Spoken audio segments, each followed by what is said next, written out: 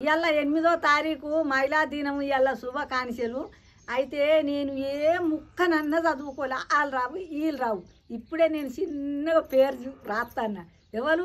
మా టీం వాళ్ళంతా గంగవరాయి గంగవరాయి అంటే అనుకుంటా అనుకుంటా ఒకటి రాస్తాను పేరు నా పేరు.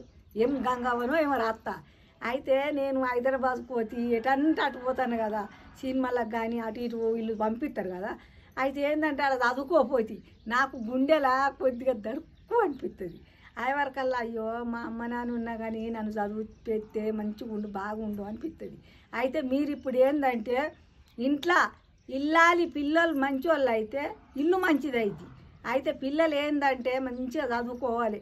నాన్న గాబరం తల్లిదండ్రులు పెడితే అలా ఆయనతో పోకుండా అవుతారు మా పిల్లలు ఇప్పుడు పది నెలల నుంచి తిరిగి తిరిగి హాస్టల్లో ఎత్తే ఏడతారు అత్తమని. అయితే మీరు అంత గాబర పెట్టద్దు. చక్కగా చదువుకుంటే ఎండలు ఆనలు చలికి పిల్లలకు కష్టం ఉంటుంది చదువుకోని పిల్లలకు.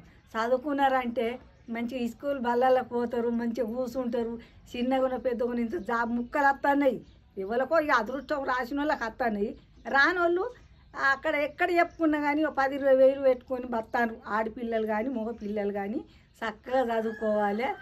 మహిళా దినం మీ అందరికీ నమస్కారము. అందరు మంచిగా ఉండుర్రి నేను తెలిసిందో తోయకునో నా ఇన్స్టాగ్రామ్లో చెప్తాను ఇవాళ